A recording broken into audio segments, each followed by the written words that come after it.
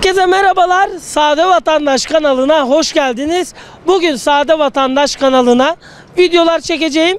Videolarımızı izledikten sonra kanalımıza abone olmayı, bildirim zilini açmayı unutmayın. Sade Vatandaş Ankara'da, Sade Vatandaş sizleri seviyor. Abi kendi adıma değil ben toplum adına konuşmak Evet. istiyorum. Şimdi e, nasıl söyleyeyim sana ben bir genç olarak 18 yaşındayım şu an. Hani ben bu yaşımda e, benim eşim yok, çocuğum yok, evim barkım yok. Ama ben nedense 20 yıl sonraki hayatımı kaygısını yaşıyorum şu an. Neden? Ya şu an hani ülkemizde birçok genç hani bizim devlet e, şeylerimiz, yöneticilerimiz hiçbir zaman toplumun arasına e, hani karışmadı. Kim sizin gibi toplumun sorununu dinlemedi mesela ya da gençlere neden hepiniz yurt dışı hayaliyle yaşıyorsunuz diye sormadı. Bizim Sosyal Politikalar Bakanımız çıkıp yoksulluk yok diyor ülkemizde. Bizim şu an Tarihe karıştı diyor yoksulluk. Aynen. Şu an ortalama 4-5 kişilik bir ailenin sadece açlık sınırı, kira falan, doğalgazdan bahsetmiyorum. 2400 küsür TL ve bizim e, asgari ücret 2800 TL oldu. Bir ailenin diğer e, ihtiyaçlarının giderilmesi için yoksulluk sınırı 8000 TL küsür şu anda. Evet. Ama biz şu anda bir insan, e, bir memur, bir çalışan 6000 TL maaş alıyorum dediğinde biz wow diyoruz. Hani ona bile iyi göze bakıp çünkü biz insanlar genelde 2000-3000 TL arasında parayla e, yaşıyor. Ben mesela geçen gün markete gittim. Amcanın biri patlıcan aldı. Sadece bir tane patlıcan aldı. Bir ablamız iki tane soğan aldı. Limon iki tane aldı.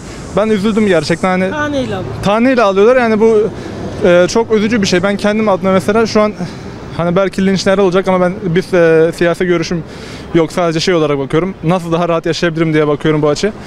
Hani ben gerçekten en yakın zamanda ülkemizden çıkmak değil de kendimi başka yerlerde kendimi daha iyi geliştireceğim yerlere gitmek istiyorum. Daha sonra Neyin göçü yaşayacağım diyor. yani mecburen abi ben şu an yazılımcılık istiyorum kendi e, düşüncem. Ama bakıyorum ki ülkemizde mesela bu konuda bir gelişme yok. Bizim sürekli yabancı şirketlere ihtiyacımız var. Ayrı fabrika konularında başka e, ihtiyaçlarımızı sürekli dışa bağımlı yaşıyoruz. E, Her yani ülke dünyada birçok ülkeden daha iyi yani dört mevsim bir arada yaşayan az ülkelerden biriyiz. Yani bu ne demek oluyor? Birçok e, tarım e, tarım anlamında verimliliğimiz fazla demek. Ama nedense biz kendi ülkemizde ihraç etmem- etmemiz gereken şeyleri ithal ediyoruz. Yani bunları da anlamıyorum. Sadece baştakilere Allah'a havale ediyorum. Çok teşekkür ederim. Rica ederim abi. Abi geçinebiliyor musunuz? Geçine, e, geçinebiliyor muyuz? Güzel bir soru. Geçinemiyoruz. Neden abi? Ee, görüyorsunuz her şey günden güne pahalanıyor, zamlanıyor. Şimdi markete gidiyorsun. Bugün olmuş bir 5 litre ya 90 lira. Ee, adamların e, verdikleri asgari ücrette verdikleri zam 500 lira. Yani bunların tek bir amacı var. Bu verdikleri 500 TL'yi milletin cebinden nasıl geri alabiliriz? Yani başka bir amaçları, başka bir dertleri yok. Kaşıkla verip kepçeyle mi alıyorlar? Aynen öyle. Kaşıkla verip kepçeyle verdik, veriyor dedikleri e, taktiği uyguluyorlar şu anda. Peki efendim e, askeri ücret 2825 TL oldu. E, nasıl bir fiyat? E, bir evi geçindirebilir mi? Faturaları, tatili, eti, sütü tamamen bir aile bununla geçinebilir mi? Tatil mi? Zaten tatili biz yıllarca tatil yüzü görmedik. Niye abi gitmedin hiç yengeyle çocuklarla bir yere? Gitmedim, gitmedim. Bir Nereye Bodrum, bir Kapadokya. gidiyorsun? Ya hayır, nereye gidiyorsun? Mümkün mü Allah'ını seversen ya? Memlekete bile giderken zar zor gidebiliyoruz ya. Düğün, cenaze. E anca işte bir düğünümüz, cenazemiz Allah korusun yani cenazemiz falan. Zaruri şeylere. Yani onun haricinde e, gidemiyoruz yani. Nasıl gideceğiz? Etini, sütünü, balığını alabiliyor musun düzenli? Ya nereye alıyorsun? Kurbanı, bay bay kurbandan kurbana et yüzü görürsen ne ala göremezsen o da yok. Allah yardımcı olsun. Yani e, şunu diyeceğim. E, şimdi asgari ücret e, konusunda hayallerimiz suya düştü. Biz isterdik ki şöyle yani 3500, 3200 e, civarlarında bir rakam verilsin ki e, insanların geçim şartları biraz daha rahatlasın. Enflasyon altında ezilmesin. Yani yani şimdi şöyle düşünüyorsun 500 lira bence e, bir yıl boyunca yani şu yaşam şartları şu pahalılığa bakarak kıyasladığın zaman 500 lira bence iyi bir rakam değil. Zaten e, Türk liramız değer kaybediyor devamlı. Evet. Yani bilmiyorum diyecekler bunlar. Allah yardımcınız olsun. Çok Teşekkür ediyorum. Kolay gelsin. Şimdi kardeşim geçinebilindi ki asgari ücrete bir zam yaptılar. Yaklaşık 500 milyon gibi bir şey. Evet. Ama son bir yılda bakarsan e, bir yıl önceki aldığın yağ diyelim ki ne 40 milyonsa şimdi oldu 80 milyon. 6 ay önce ya. Evet 6 ay önce misal veriyorum. E şimdi nerede 500 milyon zam versen ne oluyor?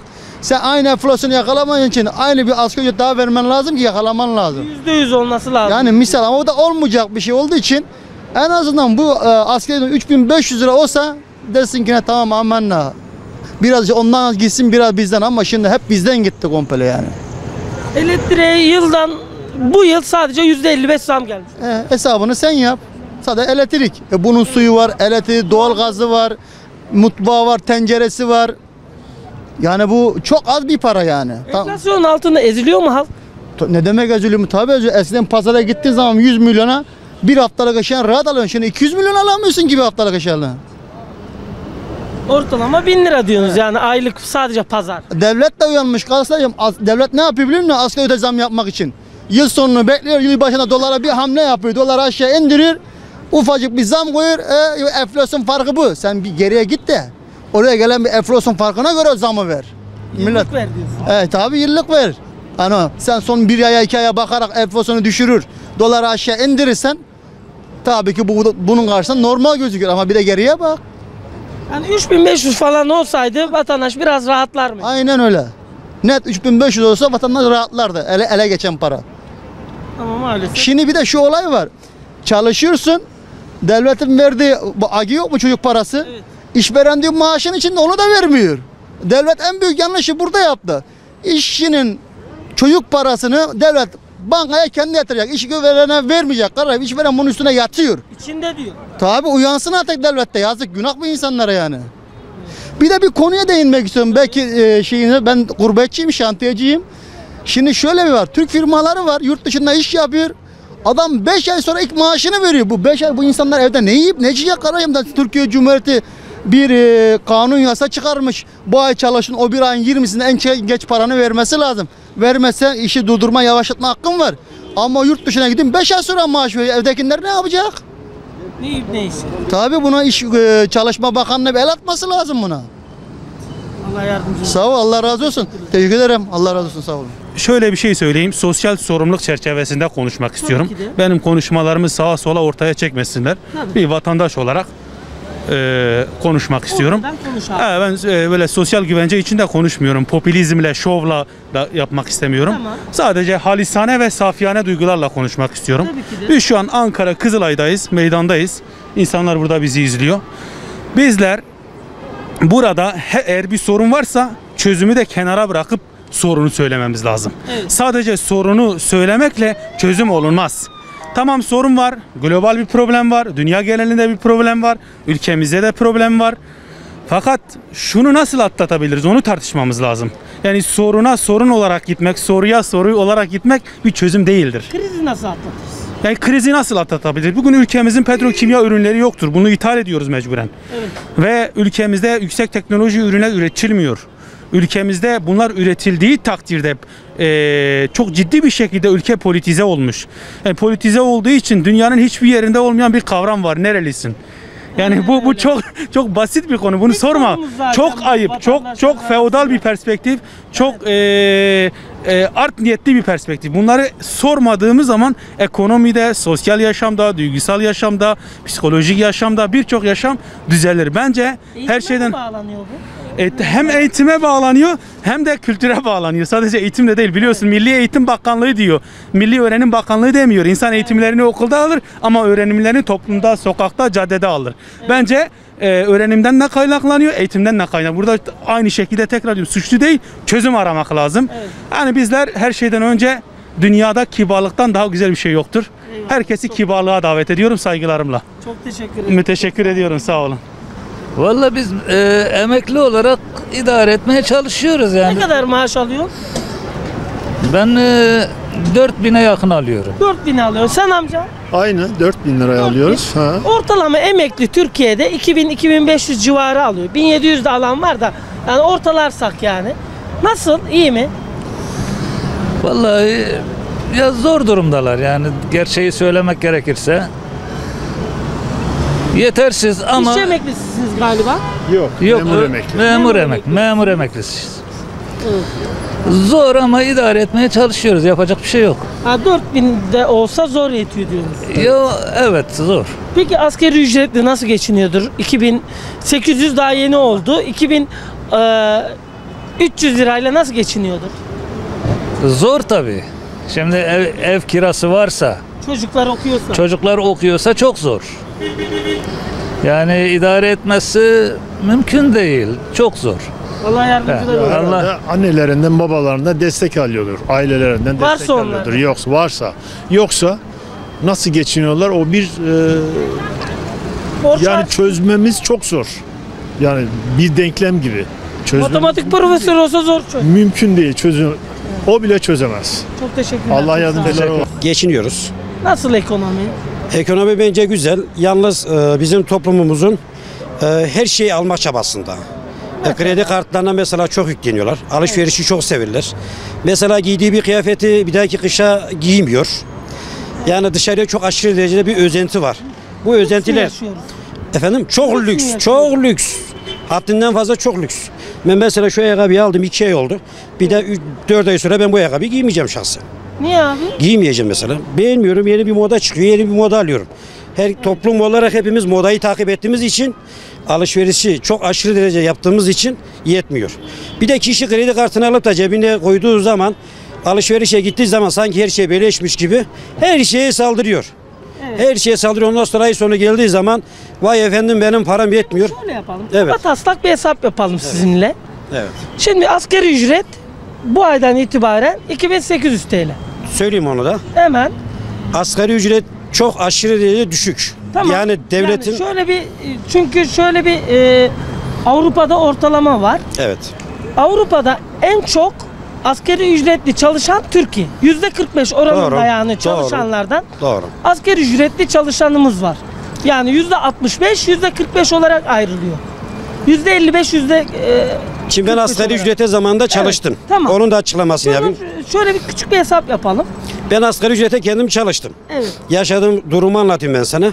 Örneğin pazara gittiğim zaman Allah var her şeyi alamıyordum. Kıt kıt alıyordum. Yani asgari ücrete çalışanlara Allah yardım etsin. Hakikaten Allah yardım etsin. Hele şu zamanda bir de bizim Türk milleti olarak çok fırsatçıyız. Marketçi desen, manavcı desen, kasapçı desen hepsi bu pandeminin fırsat buldu. Her şeye zam verdiler. Her şeye zam verdiler.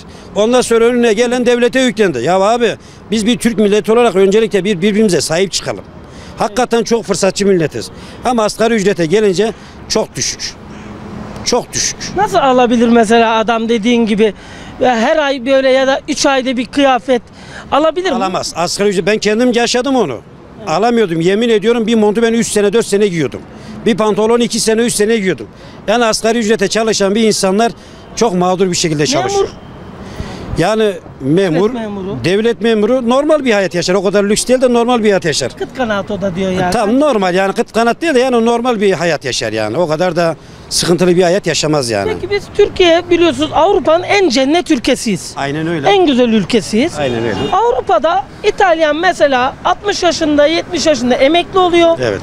Bizim ülkemize tatile geliyor. Doğru. Ve bizim ülkemizin bütün nimetlerinden yararlanıyor. Kapadokya'ya gidiyor, Bodrum'a gidiyor, Trabzon'a gidiyor. Bizim emeklimiz kendi ülkesi bırakalım Avrupa'yı. Çünkü dolar biliyorsunuz euro çok yükseldi. Kendi ülkesinin nimetlerinden yararlanabiliyor mu? Kendi vatandaşlarımız, emeklisi çalışanı fark etmez. Bizim Türkiye'de bu şekilde yararlanması imkansız. Emeklinin aldığı maaş bence çok iyi bir emeklilik değil. Zaten asgari ücrete verdi zaten e, 500 TL verdi. e, zam oranı ya 500 TL dedin ne abi ya bir yağ olmuş şu anda 83-84 milyon lira yani düşün. Yani fırsatçılıktan dolayıdır bu da yükseldi. Her şeyi euroya dolara bağladılar. Yani maaş konusuna gelince çok düşük aşırı derece düşük. Yani Hiç bir de olsaydı rahatlardı vatandaşlar. 3500 lira. 3000 Allah için olsaydı. konuşmak lazım. 3500 lira hakkı. Şimdi işverenlere ben buradan işverenlere sesleneyim. Adam balya balya para alıyor. Caddeye çıktı mı BMW ile Audi ile 4 çarpı X'lerle çıkıyor meydana. Ya bir biraz içine dağıtsana. Yok. E Bir yere ben bir yere ben çok gittim bir yere restoranta gittiği zaman kendi içisine 100 milyon para vermiyor. Ben kendi gözümle şahidim yemin ediyorum 2 mil 2000 TL bahşiş atıyor oraya. Hani kendi suç kendi milletimizde, kendi halkımızda. Çok teşekkür ederim. Sağ olun abi saygılar.